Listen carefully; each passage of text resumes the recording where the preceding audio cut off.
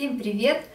Вы на канале Готовим дома и с вами я Оксана Пашко. Сегодня я вам предлагаю приготовить супчик с фрикадельками. Очень вкусный, ароматный суп. Я знаю, что его любят очень многие, и взрослые, и дети.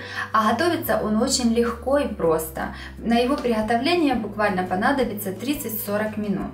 Итак, для супа мне понадобится 5 картофелин, фарш, у меня свиной, здесь 350 э, грамм фарша, 2 луковицы, 1 морковь, 4 столовых ложки риса, или это получается полстакана риса. Рис я помыла до прозрачной воды и залила его водой. Водой залила для того, чтобы он не трескался в супе потом. Перец, лавровый лист, пол столовых ложки соли и зелень, можно петрушку, можно укроп. У меня петрушка для красоты ароматизации супчика уже в конце. Эти все ингредиенты мне нужны на трехлитровую кастрюлю воды. Ставлю воду на плиту и жду, пока она закипит. Когда вода закипит, я тогда уже буду формировать фрикадельки и бросать сразу же в воду. Пока вода у меня будет закипать, я в это время нарежу картофель и морковь с луком. Картофель я нарезаю небольшими кубиками, примерно где-то сантиметр. Лук для зажарки нарезаю мелкими кубиками. Теперь тру морковь на мелкой терке. Вода в кастрюле у меня закипела, теперь я формирую фрикадельки. Для того, чтобы их сформировать, мне нужна чайная ложка. Чайной ложкой я беру фарш. Чайную ложку использую для того, чтобы каждая фрикаделька была одинакового размера и смачиваю руки водой. Водой смачиваю для того, чтобы не прилипал к ним фарш. Формирую фрикадельку. Размер фрикадельки чуть меньше грецкого ореха. И бросаю ее в кипящую воду. Когда фрикадельки немножко проварились, нужно обязательно снять пену, которая появляется от мяса. А, теперь я добавляю картофель и сразу же за картофелем добавляю рис. Рис с риса сливаю воду, в которой он был замочен, и добавляю его в кастрюлю.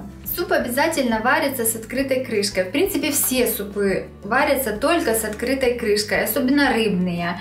Мясной суп, овощной суп, такой как у меня, тоже варится с открытой крышкой. Это делается для того, чтобы суп был более наваристым, а вода в нем была прозрачная.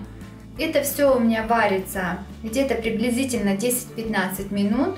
И через 10-15 минут я буду добавлять лавровый лист. Суп я переставила на другую плиту. Пока он у меня там варится, я здесь приготовлю зажарку. Сковородку я наливаю немного подсолнечного масла. И когда сковородка немного накалится, я всыпаю лук. Э, когда лук приобретет уже золотистый цвет, тогда я засыпаю морковь. Морковь немного прожариваю и зажарка готова. Эту зажарку в конце варки я добавлю в суп. Прошло 10 минут, как варится мой суп, я добавляю лавровый лист.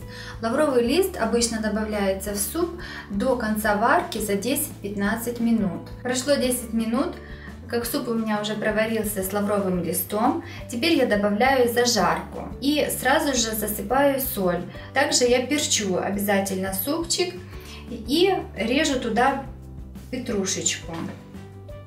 Все это добавляю в конце и сразу же выключаю суп.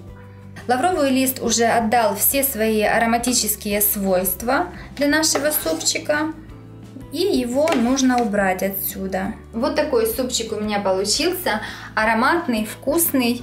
И готовится он, как вы видели, уже очень быстро. Всем рекомендую его приготовить. Если вам понравилось это видео, ставьте лайк. Подписывайтесь на канал, кто еще не подписался. Делитесь этим видео в соцсетях. До скорой встречи в новых видео.